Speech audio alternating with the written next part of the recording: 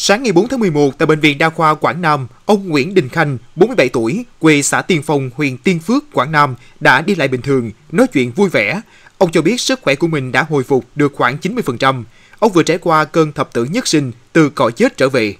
Trước đó, ngày 23 tháng 10, khoa cấp cứu Bệnh viện Đa khoa Quảng Nam tiếp nhận bệnh nhân này trong tình trạng hôn mê sâu. Điều đặc biệt, theo gia đình, bệnh nhân làm việc, sinh sống tại thành phố Hồ Chí Minh.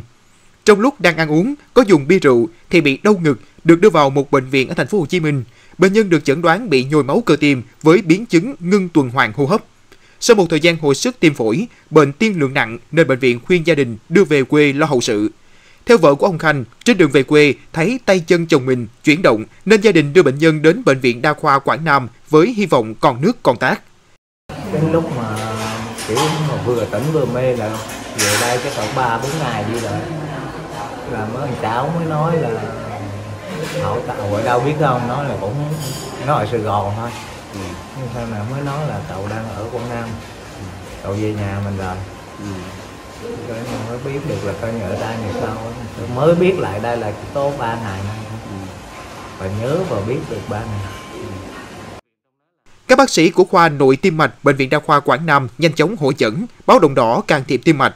Sau 5 ngày được cứu sống, bệnh nhân được áp dụng các chương trình phục hồi chức năng tim mạch cơ bản. Đến chiều ngày 3 tháng 11, bệnh nhân được khoa nội tim mạch trao giấy xuất viện để điều trị ngoại trú.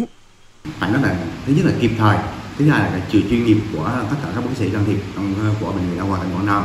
À, cùng với đó là sự à, à, quyết tâm của gia đình và tôi nghĩ một cái lý do mà cũng rất là là là là, là hay đó là à, đó là bệnh nhân này có một trái tim rất là kiên cường.